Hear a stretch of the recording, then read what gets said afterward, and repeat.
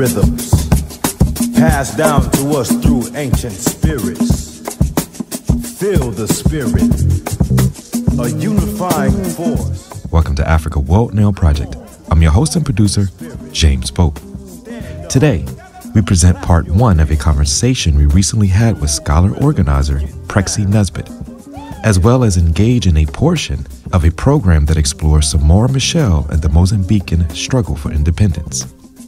This program includes significant contribution from Professor John S. Saul.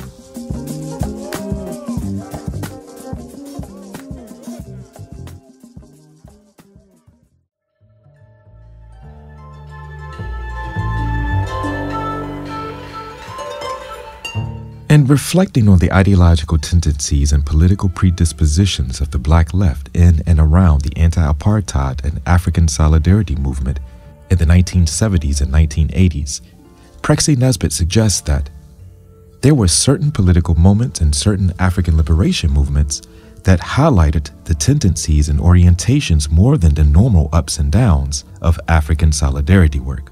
Three of those moments were one, the 1974 6 Pan African Congress, and decisions taken as to who would be invited and who would be allowed to participate in it.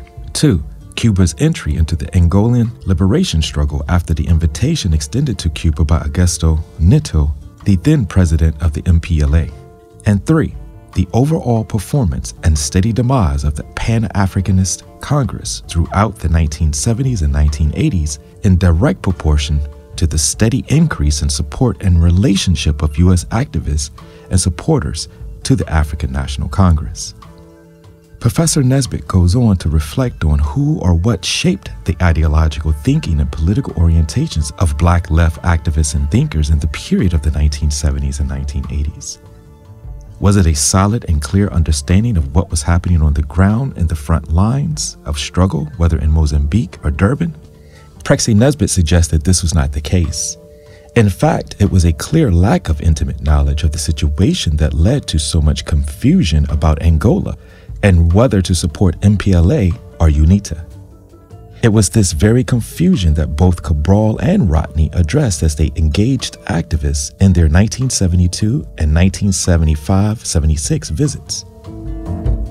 Prexy writes further I don't think it was the profound intellectual debates and powerful analysis of the 1960s and early 1970s gathered together in collections like the African Liberation Reader or in the pages of the African Communist that molded the thinking of young American activists of the 1970s. Rather, it was meeting and listening to individual and penetrating charismatic individuals like Amilcar Cabral, Samora Machel, Mwalimu, Julius Nyerere, Fidel Castro, and Muhammad Babu, to name a few.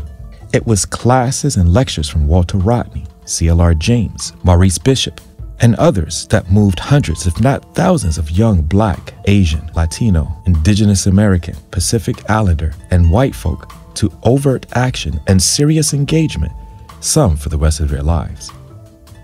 Few African American activists were lucky to live and work in places like Dar es Salaam, Lusaka, Algiers, and Cairo, sites that were in the middle of the struggle and provided intense education and political stimulation to all whom were in or around these spaces.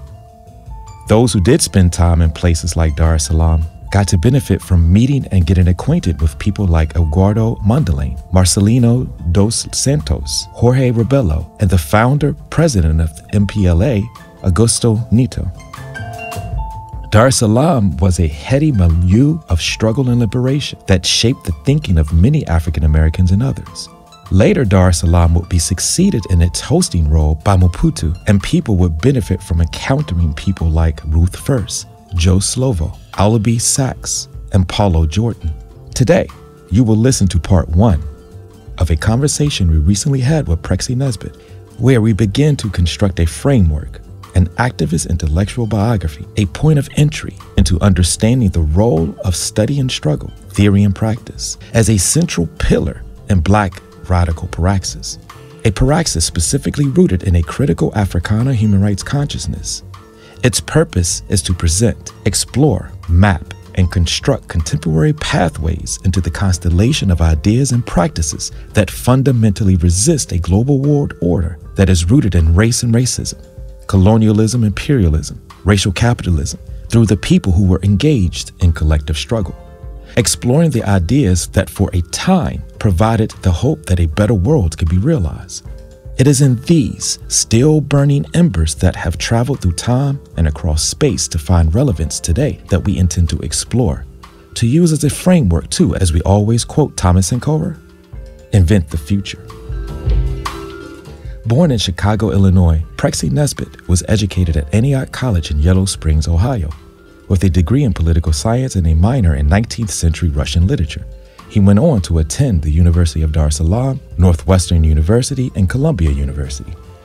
His work includes direct and indirect activity in six Southern African liberation movements the African National Congress, the ANC, Mozambique Liberation Front, Frelimo, Popular Movement for the Liberation of Angola, MPLA, Zimbabwe African People's Union, ZAPU, the Zimbabwe African National Union, ZANU, the Southwest African People's Organization, SWAPO, and the African Party for the Independence of Guinea and Cape Verde, PAIGC.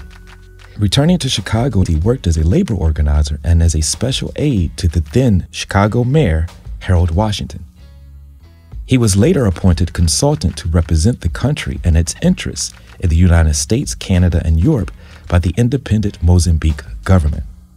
He also engaged many formations that included, but not limited to, the Chicago Committee for the Liberation of Angola, Mozambique, and Guinea Bissau, American Committee on Africa, the Institute for Policy Studies, the African National Congress, Labors Against Apartheid, and Chicago Coalition for Illinois Divestment from South Africa. As an activist and educator, he has organized and taught throughout the United States and around the world.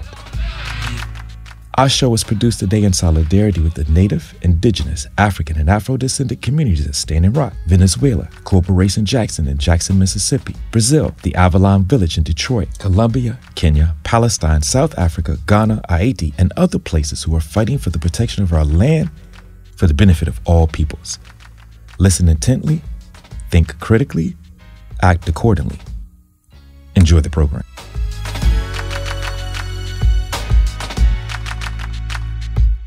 We have the pleasure to be joined by Prexy Nesbitt today to engage in a very robust discussion, or uh, basically an intellectual biography of Prexy in the context of liberation uh, movements and and how he came to work in these particular spaces and the people that informed your political development. And I wanted to just take the time to just thank you, uh, Prexy, for joining us today. I'm very delighted. I'm very honored to be part of this. Thank you very much. And and again, you know, one of the things that we uh, like to do in the collective that we call Africa World Now Project is really have robust organic discussions because what we're trying to do is to map activism intellectual work. We're not separating theory from practice. We are looking at a clear understanding of how struggle informs uh, theory and theory informs struggle. Um, and with that being said, the center of the conversation that I want to have today really want to kind of build a or construct a conversation around the role of the working class in anti-colonialist movements by looking at your experiences in these particular movements, but also building a intellectual biography of yourself. So with that being said, talk about Chicago in the context of informing your trajectory um, in your life? I came up in a very uh, stable, uh, middle class black family that was different from most middle class black families insofar as a they lived uh, collectively. They lived in a all. There were five brothers who married professional African American women, all of whom were very ta- talented.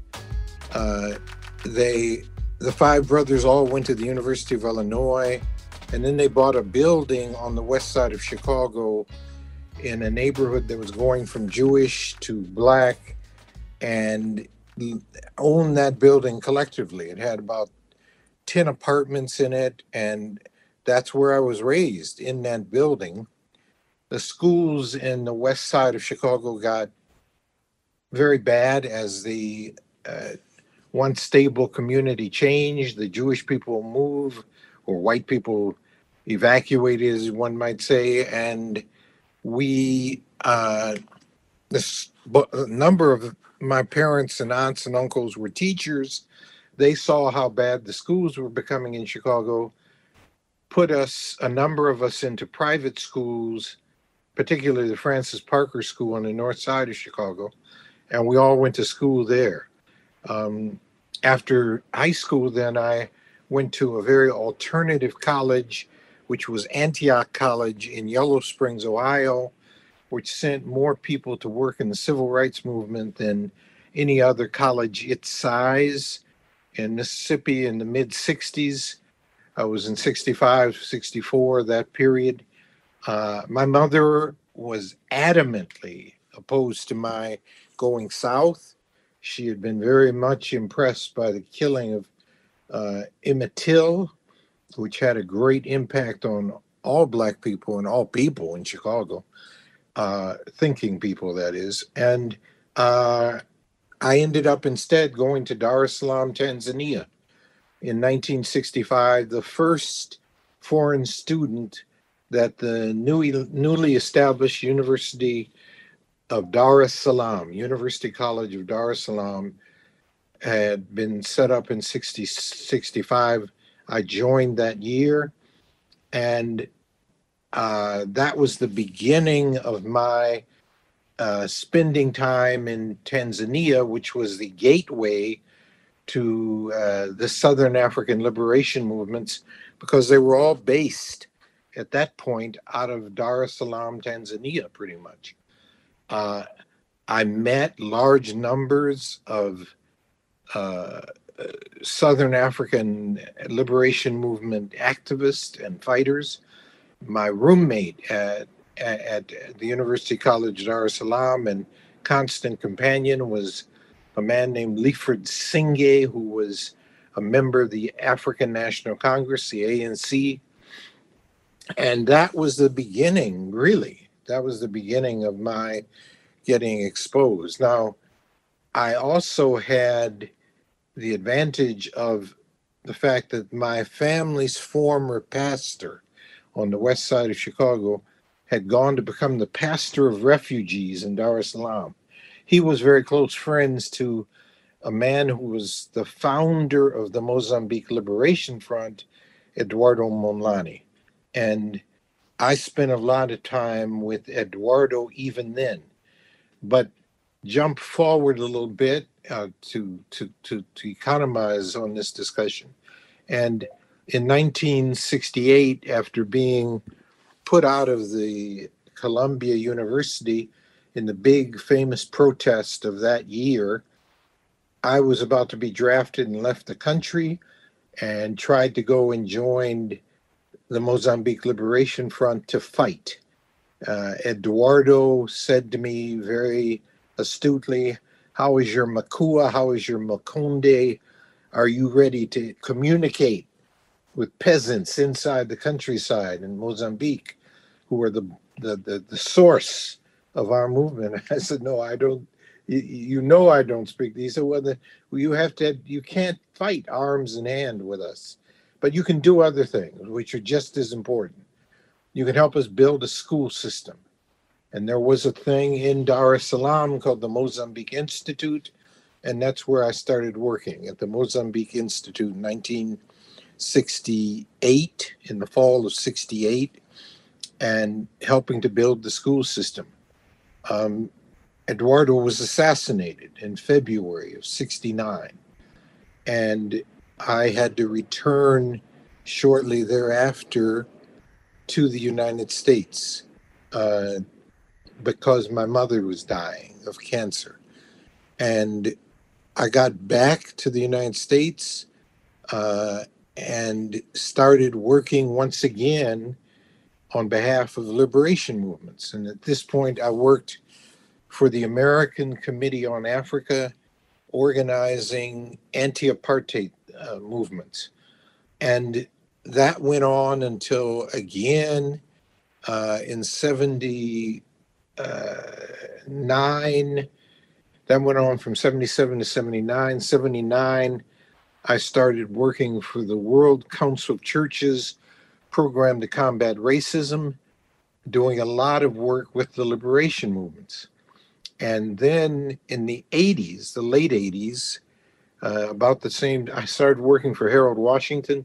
And then the Mozambican government asked me, by this time it was an independent free country, uh, they asked me to work as a, a, a lobbyist and organizer for them in the United States. And I did that for the next four years, working all over the country, building a Mozambique support network. This is a good stopping point. I'm glad we're we're taking a pause because you said a number of things there that I want to come back to. Sure. Um, but I also don't want us to miss the fact that you do have a background in CORE. You have a background. You come from a union uh, background, but also a Garvey background. Could you talk a little bit more about the influences of those particular uh, associations as you're moving into uh, this more more internationalist work? And you mentioned uh, going to school uh, in Tanzania. Could you talk a little bit of how you how that happened? Because I, have I've heard um, in another conversation that you were having a few years ago that you know, SNCC Freedom Summer, of course, a lot of your friends, a lot of people you know, and comrades and colleagues were able to go there, but you went to Africa. Before you get there, let's talk about, you know, the union background, but also, you know, the influences of, you know, uh, Garvey. Well, I think that the Garveyism influence is a very interesting one because it comes through my father and his brothers, through these Nesbitt brothers who all were raised in Champaign, Urbana, Illinois, and all of whom read regularly all the Garvey publications. And I had two uncles that I really didn't know them. I I saw them as children, as a child rather, and they were members of UNIA and read the UNIA publications regularly. My father, I can't count the number of times my father and uncles would say to me, if only your Uncle Rob or your Uncle Rufus had known that you went to Africa and studied there, they would have been so proud. But they they died before I did that. But my father and my uncles delivered UNIA materials and papers in Champaign, Illinois uh, where they grew up.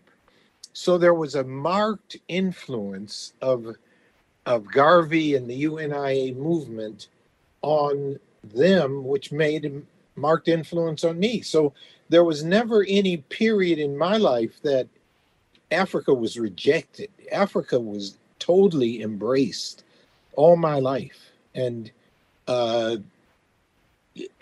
the the work done by Paul Robeson also the work done by any of the great leaders we had who embraced Africa, we embraced it too. So I went I went and heard Robeson speak on the on behalf of the African uh, uh, organization that he had started. I didn't ever get to hear Marcus Garvey, but I read speeches and read the newspaper, and then followed avidly what the uh, Muhammad Speaks newspaper, which was one of, for a long time, the really the only regular source uh, after the, the decline of the Garvey papers uh, that gave you news about Africa.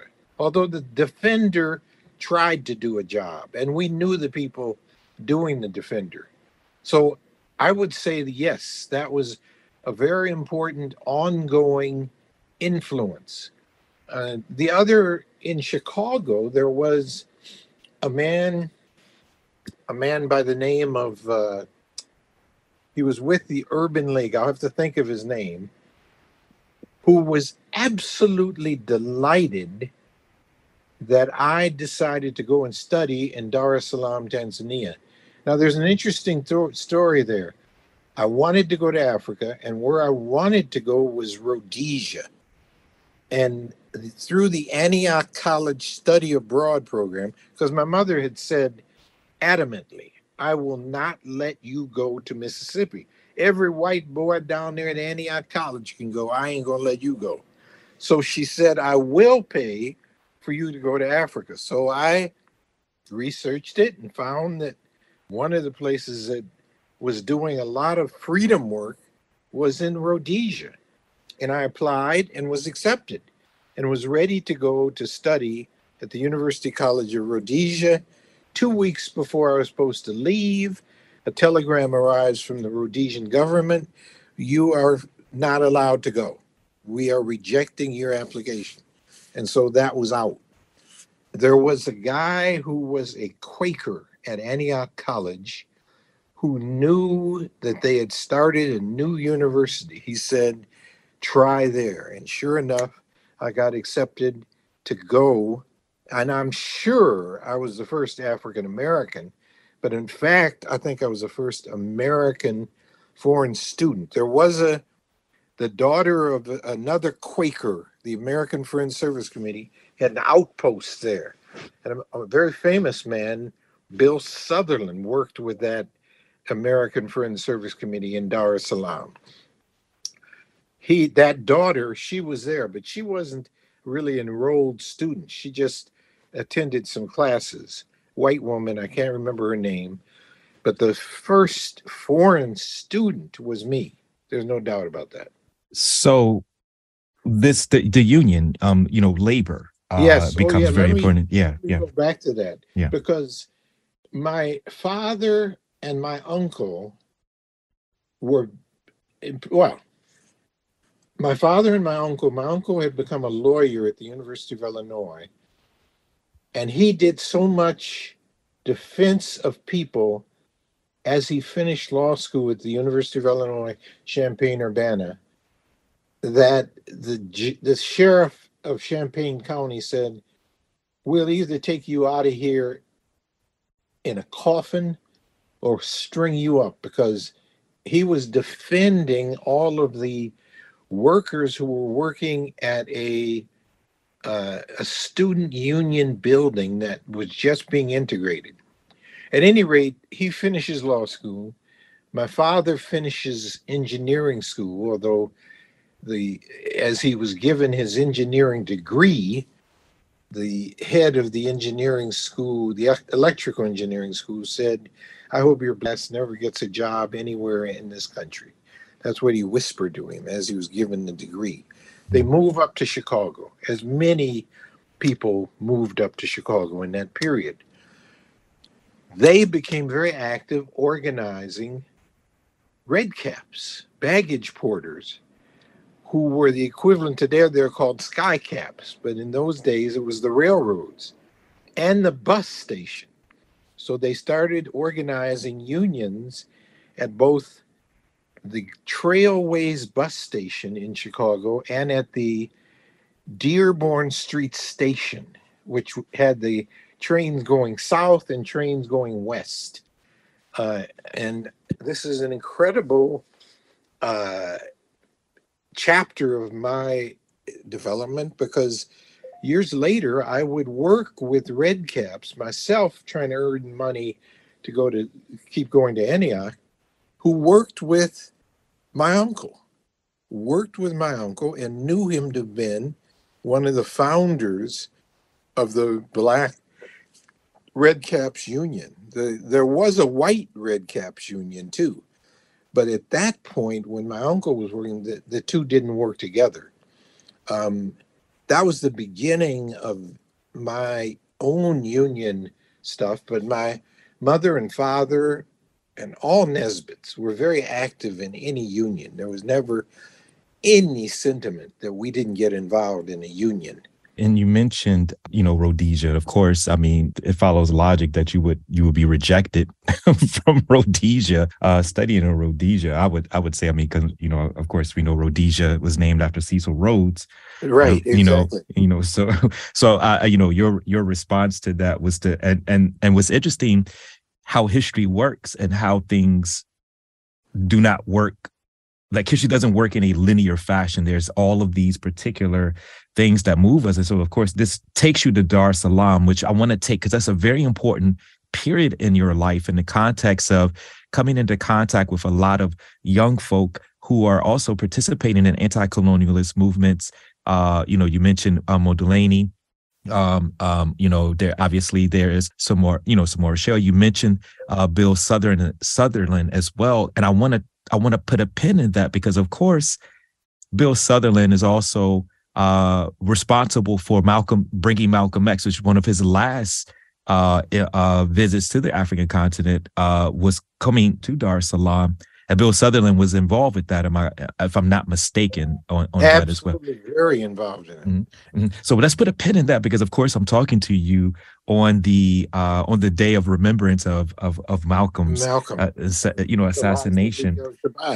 Right. Uh, there's so many ways that I could take that um, mm-hmm. that that thrust that that remembrance mm-hmm. because yes, indeed. Uh, Dar es Salaam was the the the center of the Southern African liberation movements, and when I go to university there, I go to school uh, and study with uh, scholars, many of whom had been thrown out of Rhodesia and South Africa.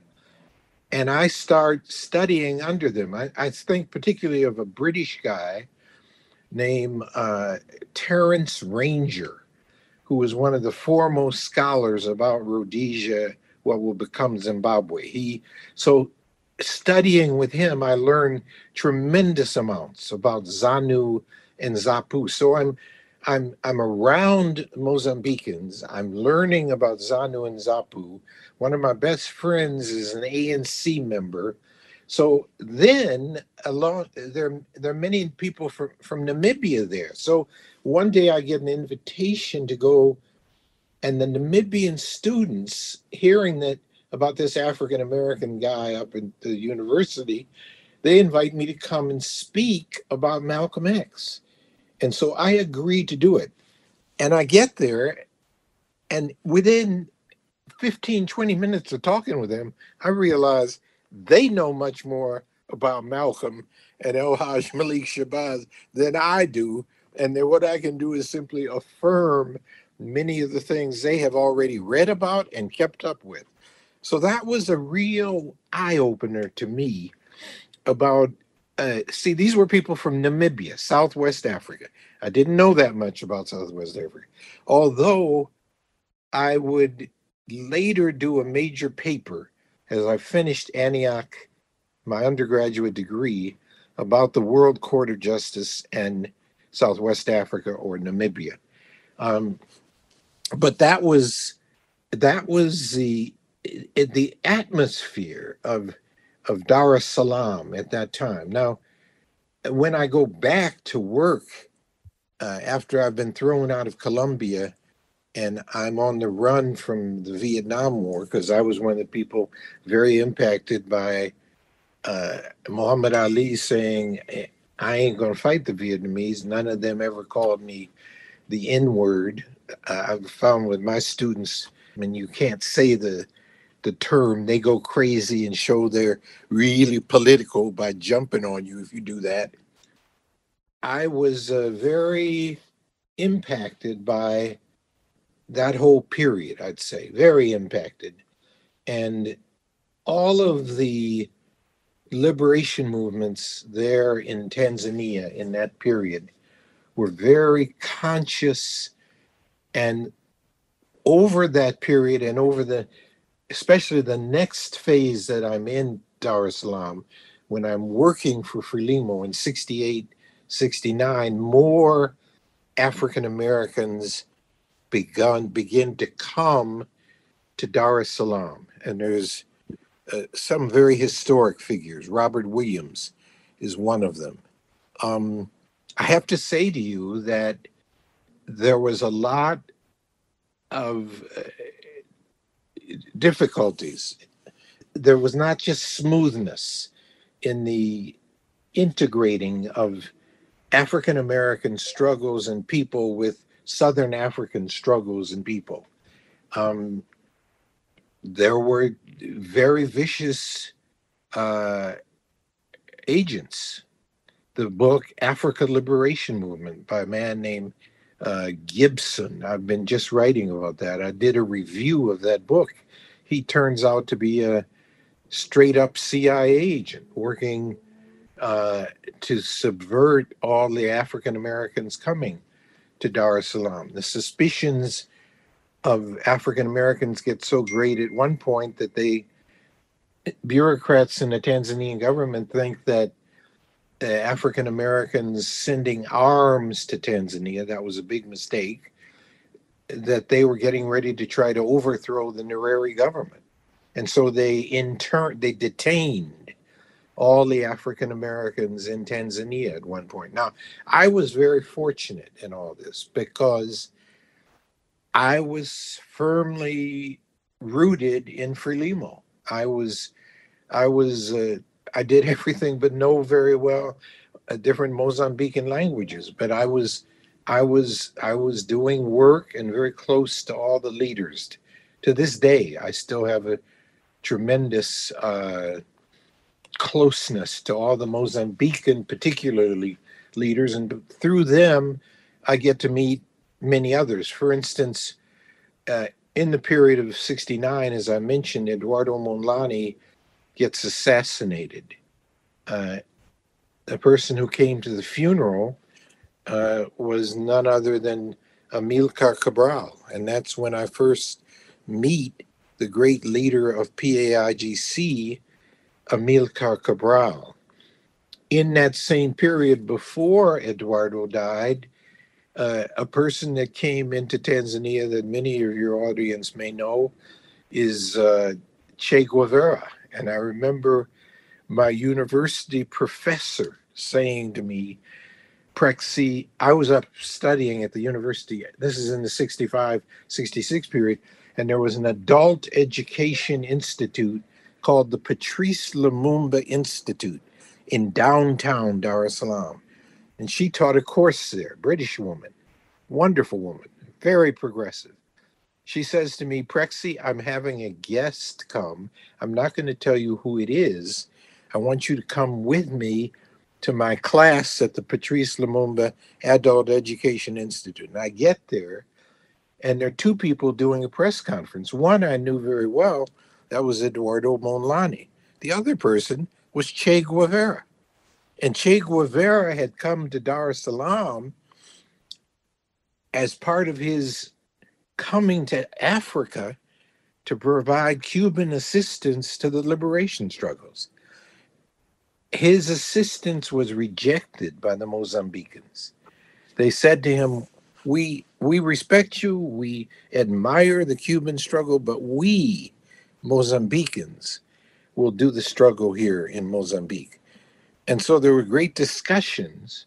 There was exchange of other materials, but Cuban forces never fought in the Mozambican theater. Where they did become critical was, of course, in the Angolan struggle. And I learned a great deal about all of that later in another phase. So let's let's there's a lot there.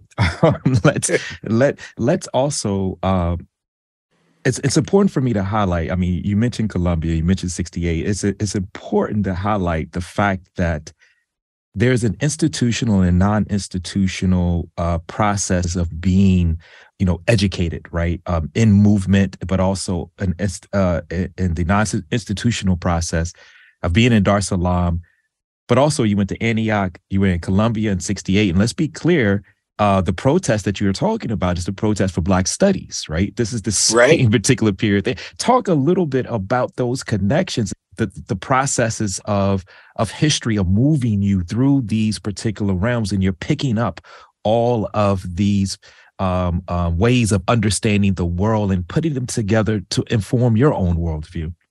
Let me talk a little bit about Columbia. Uh, when I started graduate school at Columbia, I just have written about this, so it's very mm. timely. When I started graduate school at Columbia, I was a political science major. I had a fellowship as a graduate student. And the first thing I noticed was this was not Antioch any longer. And I was with these very reactionary, racist professors that I just totally disagreed with, except for one or two. one exception was a wonderful woman named Marcia Wright, who was a white woman, but she knew East African history and was sympathetic. She was not like uh, other people who were at Columbia. Uh, I'd have to get back in my notes to get it. There was a guy, for example, who was at Columbia named Karras, Tom Karras. There was another guy who was there. I can't remember his name. I can get it for you later. That guy tried to recruit me into the CIA because there were all these direct ah, direct linkages between Columbia and and the U.S. government. When we did, I when we got involved in the protest, which was a protest that white students and black students. I'm not going to discuss the who did first which, and that's a big uh, historical point of debate whether the black students preceded the white students in occupying Columbia or the or, or the white students preceded the black students and they did they didn't continue working together. And so the black students all occupied Hamilton Hall and I was one of the three or four graduate students was there uh, when I was thrown out when we were all thrown out uh, I lost my fellowship and was immediately drafted to go to the Vietnam War, which, as I said earlier, I wouldn't would not do. Um, but while we were in Columbia, we had some interesting discussions, and one of them was the white students were thrown out of Hamilton Hall by the black students, told they weren't revolutionary enough, and they went on and occupied six or three or four other buildings at, at Columbia University. The black students stayed in Hamilton Hall. One of the demand the demands of the white students was in not only the ending the Vietnam War, but also getting out of Harlem. And Columbia was taking over properties and buildings, expanding into Harlem. That was the main protest point of the black students and their occupation. I and maybe one or two others argued that we should also be protesting the Columbia ties to the Vietnam War, but we I was I remember intense debates where I was by myself arguing that position in in in our group in Hamilton Hall.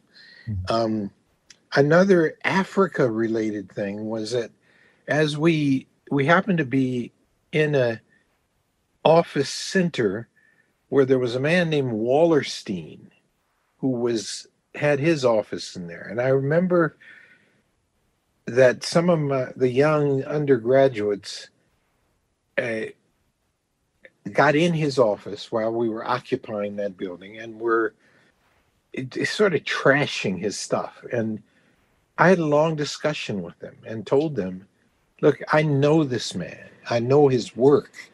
The work he has done is very, very sensual work. And we shouldn't we shouldn't do anything to this stuff. This is isn't an ally.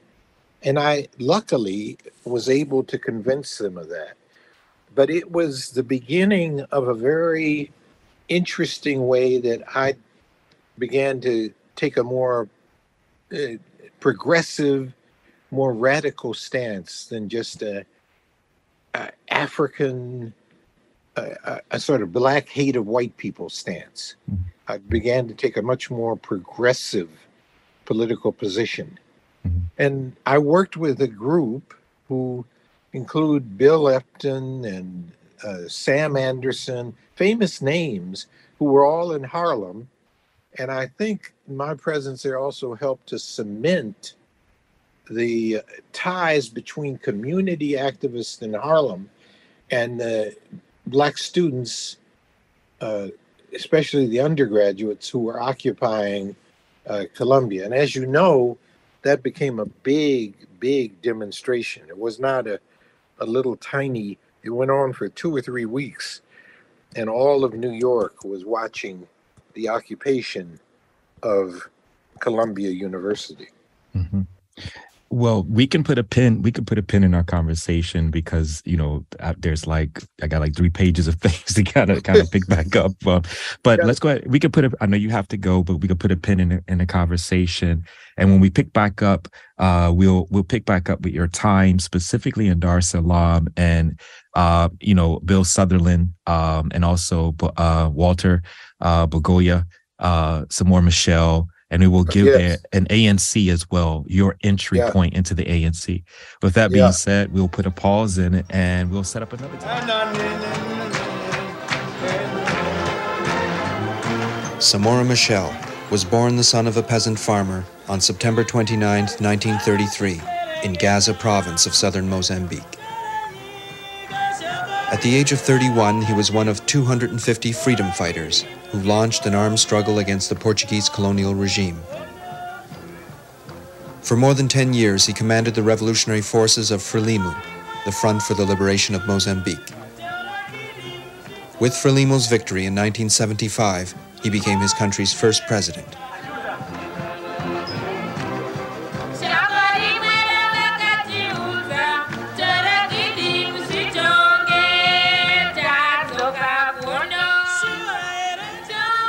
On the night of October 19, 1986, Samora died, along with 33 of his delegation, when his presidential plane returning from a summit in Zambia crashed into a hillside in the eastern Transvaal region of South Africa.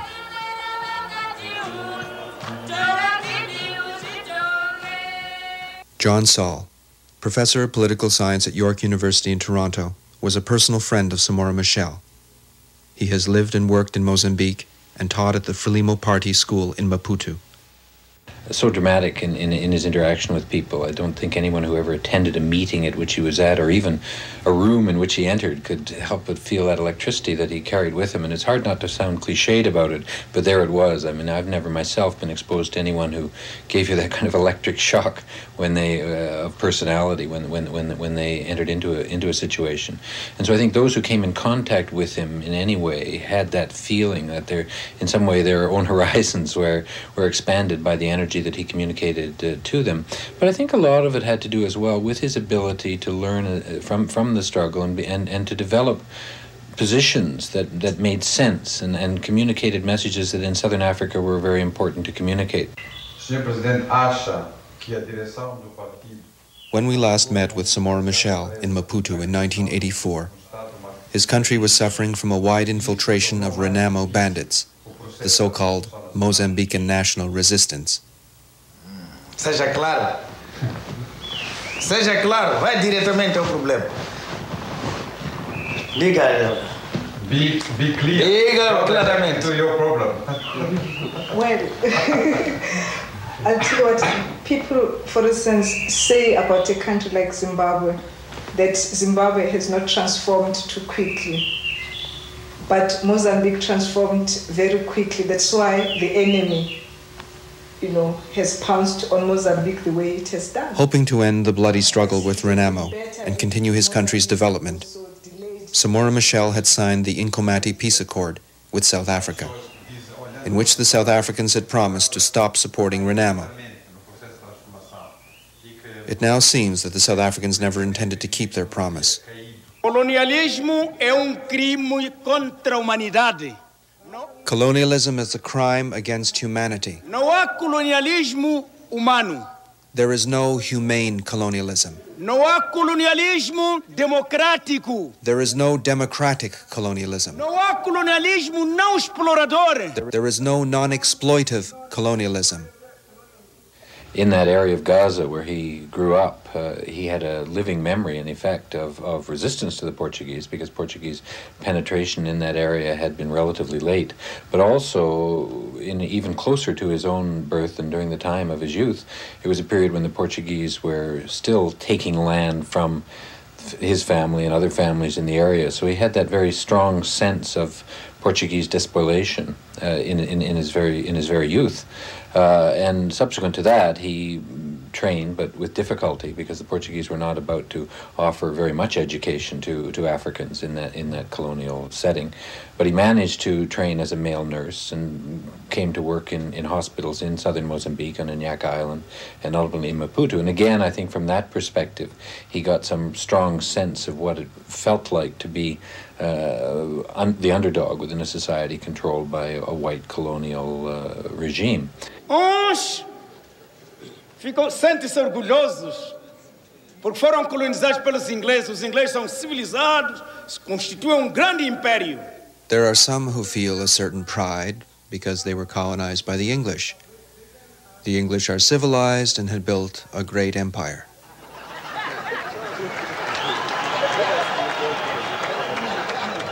E outros, porque foram colonizados pelos franceses e pensam que intelectualmente são mais desenvolvidos, mais civilizados, mais evoluídos, porque foram colonizados pelos franceses. There are others who think because they were colonized by the French, they are more intellectually developed, more civilized, more evolved, because they were colonized by the French.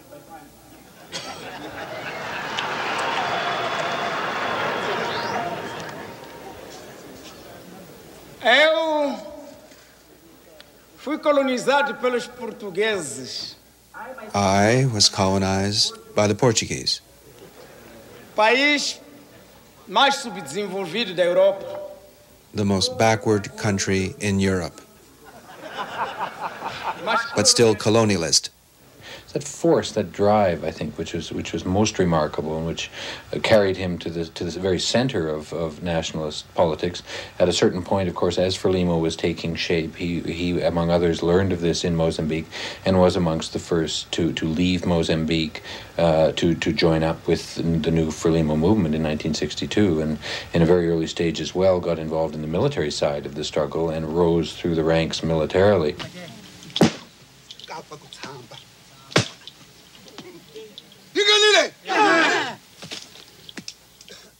Here they come.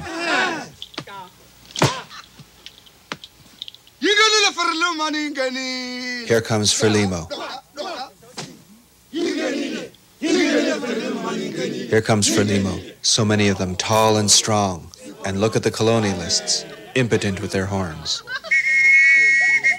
You can see it in very clear ways that began to distinguish Mozambican nationalism from nationalisms elsewhere in Africa, who hadn't had the necessity to come up against a colonial power of quite the Portuguese kind, one that was not giving in to the initial demands of nationalism, but was digging in its heels and had to be struggled against in a much deeper and more fundamental way. Uh, and there were people in Frelimo who weren't going to make that move. And in fact, there were struggles within Frelimo between Samora Machel and his colleagues and others who wanted a much more conventional, easy passage towards independence that they had seen certain other African countries in the end uh, experience. But the Portuguese weren't going to give them that kind of an easy passage, and therefore, uh, all the more reason why Samora and his colleagues emerged to the fore. But they did it by asking critical questions. They asked critical questions about what was necessary to win uh, a struggle against the Portuguese, and that wasn't going to be done by mere militarism. It had to be done by deepening your links to a popular base. A luta The struggle continua. continues. A luta continua. A luta continua. Contra o quê? Against what? Against what must the struggle continue? Contra o tribalismo. Against tribalism. A luta continua. Samora Machel's writings during the period of the struggle, they turn around questions of what would production look like that actually serviced the people? What would uh, gender relations look like that began to move towards equality? What kind of health and education services do we need in the liberated areas, but also subsequently in a, in a, in a truly liberated Mozambique that would service people's interests rather than the interests of a, of a, of a new kind of leadership that might merely be black skins uh, for white? E mais, And what else must we struggle against? Against ignorance, contra analfabetismo, against illiteracy, contra exploração do homem pelo homem, against exploitation, contra superstição, against superstition, contra miséria, against misery, contra fome, Against contra hunger. against lack of clothing. A luta continua. The struggle continues. Para que sejamos todos homens iguais. so that someday we will all be equal. Hakuna Maputo, hakuna Gaza. In Maputo, Gaza, in Yamban, in Beira, Manica, Sofala. Long live Frelimo in all of our land. Viva Frelimo Igwe. Aitanande, aitanande. Comrade President, when Frelimo looks back to the past, would you say the political leadership acted too quickly in transforming the country into a Marxist-Leninist state? This question is very interesting. It is Western, the Western point of view. They think that in Mozambique, we've had natural disasters and other things because we've moved ahead too quickly. Those who cannot read or write accept this theory. Eu queria responder. I'd like to answer that question. No. Não foi nem demasiado cedo, It was neither too soon nem nor too late. tarde. Agimos We acted momento at the opportune time Trazíamos a força with force e a and firm conviction. forte de que We decided what our revolution would be. Nós recuperamos a terra. We took back the land soon after declaring independence. You think that was too quick, taking back the land? que esteve mantida durante 500 anos. It was held for nas mãos de 500 years in the hands of a few. 500 anos. 500 Nós, years. We took it back after 10 10 years of war. We were victorious and we said we will now give the land back to the people. Was that too quick?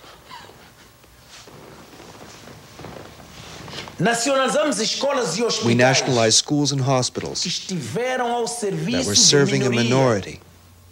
que eram os, os instrumentos. They were instruments of Constituíam privilege. privilégio esses instrumentos.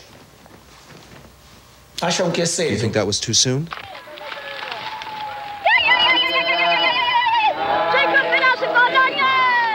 The colonialists exploited us and stole our land. But now we are independent. We live by working with hand and hoe.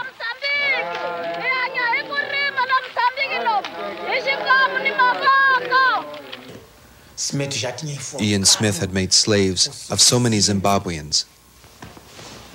Já tinha matado patriotas. He killed so many patriots with the complicity of the West. When we took um power in less than a year, in six months, we applied total sanctions against his government. Acham que são- nós somos Do you think we were adventurers? Acham que nós somos Do you think we were being irresponsible? Zimbabwe is there, a fact. Está aqui o nosso poder Here our power is consolidated, indomitable, porque é defendido because it's defended by the people. O povo não, não defende People don't defend abstractions, they defend concrete things. A terra é uma coisa The land is a concrete thing. A habitação é uma coisa dwelling. A escola é a uma coisa school, a hospital A é uma hospital coisa is a concrete thing. The struggle, the enemy, is concrete too. É por isso hoje o nosso povo For these reasons, today, Our people are standing up to the armed bandits and are certain of victory. Por causa desses resultados todos da nossa luta. Nós não nacionalizamos a We indústria. didn't nationalize industry. We didn't nationalize business. Industry and business were abandoned, and there were no Mozambicans capable of taking over. No one knew the legal channels, conhecer os trâmites, os circuitos patterns of commerce, the business of importing and exporting. Those who knew ran away precisely so our government would precisamente para o fail. nosso governo cair. Who is Renamo and why, why are they there? Why are there bandits so widely infiltrated into Mozambique? Well, if you look back at the very outset of, of Renamo, where it came from, it's, it's apparent that it was invented, in effect, by the uh, Uh, Rhodesians in the first instance in, in the late 70s when it was clear that Mozambique, an independent Mozambique, was going to be a, a, a place where ZANU, the liberation movement in, in, in Zimbabwe, Rhodesia as it then was, was going to be operating from. The preemptive strike was seen to be the order of the day by people in the Central Intelligence Organization in, in Rhodesia. So what they did was recruit in conjunction with some Portuguese uh, financiers and the like who had had a large stake in Mozambique and were anxious to undermine Frelimo's uh, project. Uh, what they did was recruit from the old Portuguese structures, the police and the commandos and the flèches, uh, some of the most uh, horrific elements of, of Portuguese law, including some Africans. Hey there, you shattered in a thousand pieces, weeping in the darkest night. That's it for Africa World Now Project for this week. I would like to thank you for joining us today and look forward to spending time with you next week. Follow us on Twitter at AFWRLDNWPRJ, Instagram at Africa World Now Project. Access to our other media platforms can be reached through the bios of our social media. I'm your host and producer, James Pope.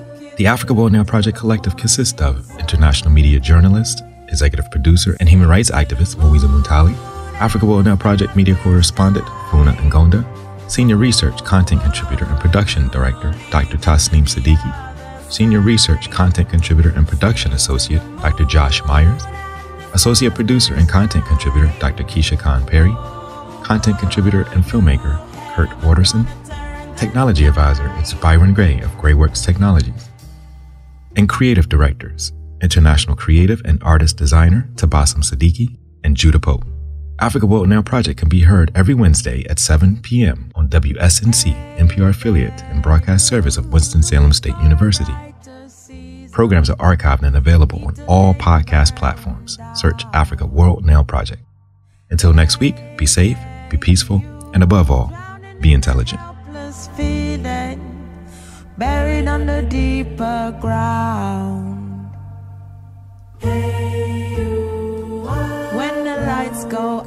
Out, it's a waiting game. Hey there, home. Never gonna see.